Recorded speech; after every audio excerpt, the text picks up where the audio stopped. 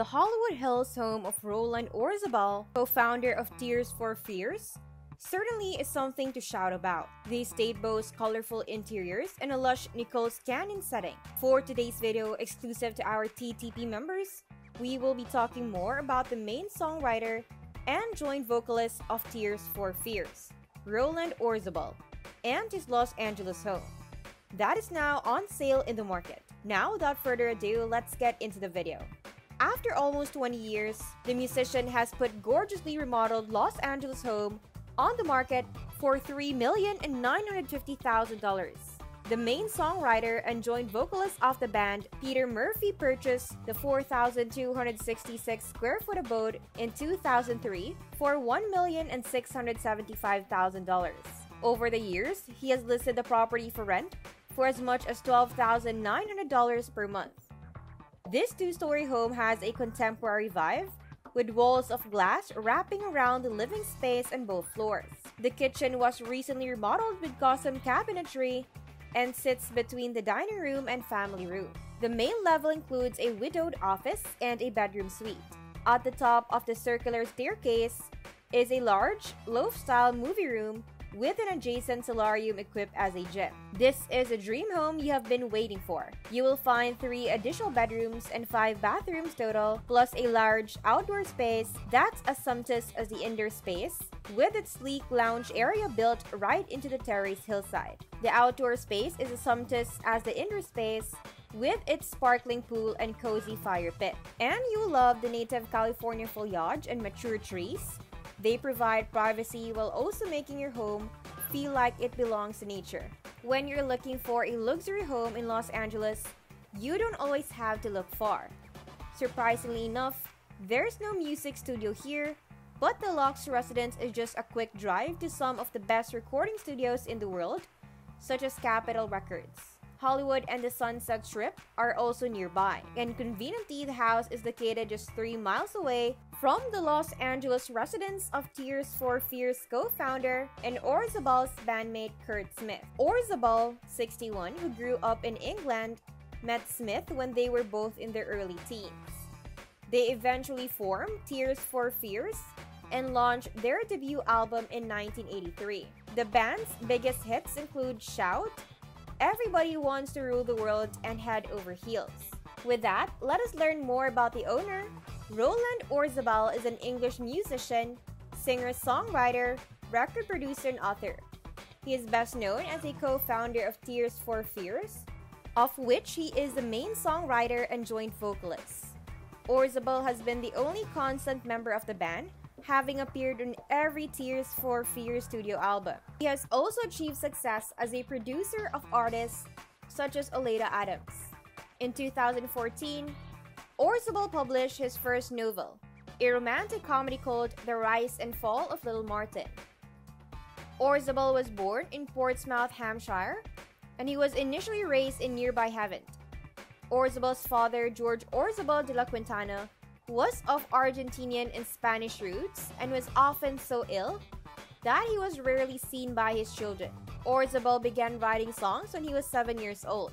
The family later moved to Bath, where he attended Culverhay School, now Bath Community Academy, and became a member of the Zenith Youth Theater Company. Orzabal and Smith were friends in their early teens and met when they both attended the Bath College of Art and Design. Orzabal was the one who suggested they form a band, and he and Smith formed Graduate, an early mod music outfit that included three other members. The group's debut album, Acting My Age, was released in 1979 to mixed reviews and moderate success. Following the album's release, Graduate disbanded. Orzabal and Smith briefly joined Neon before forming Tears for Fears, a new wave or synth pop band directly inspired by the writings of American psychologist Arthur Janov. In Tears for Fears' early years, Orzabal was the main songwriter of the group. His lyrics are often emotional or autobiographical in nature. The Hurting was the first album by Tears for Fears released in 1983. It reached number 1 on the UK album chart and remained in that position for four weeks. The album also reached number 2 on Billboard's top album chart.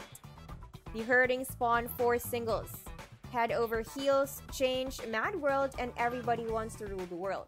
Songs from the Big Chair was the second studio album by Tears for Fears and was released in 1985.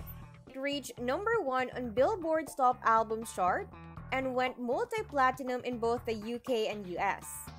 Two singles were released from this album Shout and Everybody Wants to Rule the World. In the decades since their formation, Tears for Fears have been known for a distinct sound that has drawn comparison to the Beatles, David Bowie, and Queen. The band was formed in 1981 by Roland Orzabal and Curt Smith. In 1989, they released their third album, The Seeds of Love. This album is notable for including Pale Shelter, which was written by Orzabal and Smith about their breakup. After the release of this album, Roland Orzabal left Tears for Fears to pursue a solo career under the name Loose Ends. He released three albums as Loose Ends before going on hiatus in 1992 to focus on his solo career. Curt Smith continued recording under the Tears for Fears name, with Orzabal as well as releasing solo material under his own name. In 2004, he released Everybody Loves a Happy Ending under Tears for Fears name.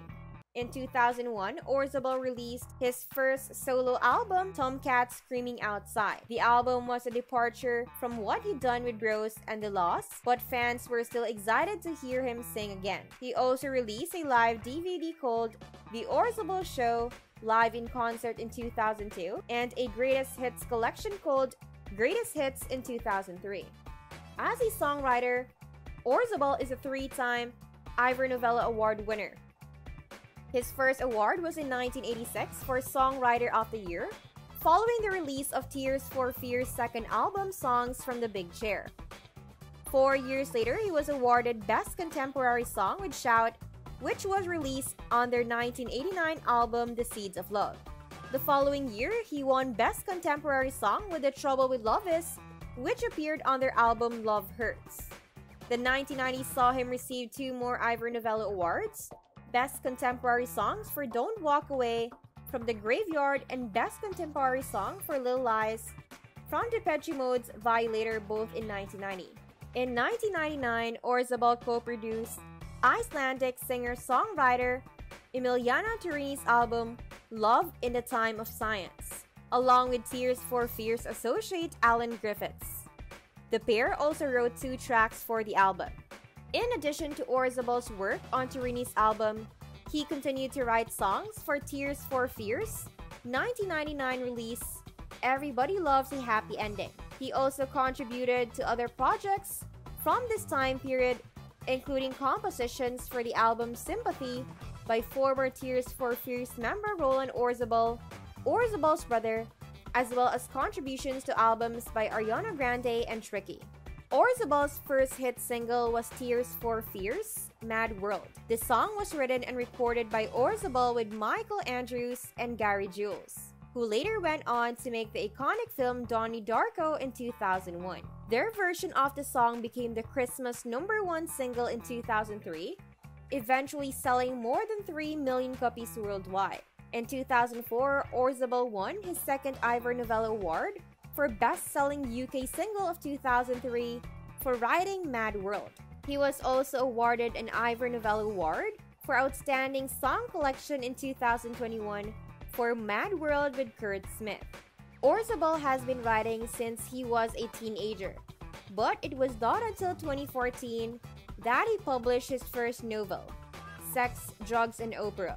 The book tells the story of Solomon Capri, a middle aged pop star who is semi retired and about to embark on his reality show, Pop Star to Opera Star. He sees the show as a way to revitalize his career and his marriage, which has been suffering from years of neglect. Orzabal says the idea for sex, drugs, and opera came from his own experiences with reality TV. He was approached by ITV himself while he was doing an interview for the show in the early 2000s, but did not participate. In 1982, Orzabal married Caroline Johnston, whom he had been dating since his teenage years. She sang the child vocal on the Tears for Fear song, Suffer the Children from the band's debut album The Hurting, and also drew the Hands cover artwork for the 1983 re-release of Pale Shelter. Their son Luke Orzabal is currently a member of the Vamps. Orzabal's wife, Carolyn Johnston, died in July 27, age 62, after suffering from alcoholism related dementia and cirrhosis, which came about after her menopause led to depression. Her death led the band to cancel its remaining tour dates that year. In April 2022, Orzabal married Emily Rath, a photographer and writer. There you have our TTP video for today. Now, what do you think about the mansion? Let us know in the comments below. Don't forget to subscribe to our channel, click the notification bell, and like this video. If you think we have delivered value, please share this video with one person. Just one share is enough for us for you to show your appreciation for the commitment and hard work we all put together in creating this video that teaches and helps you on your mission of building your own fortune. And you don't know that one share could go a long way. And keep in mind that no matter how many times you're going to watch this video, you won't see any results unless you take action. Goodbye and see you at the next one.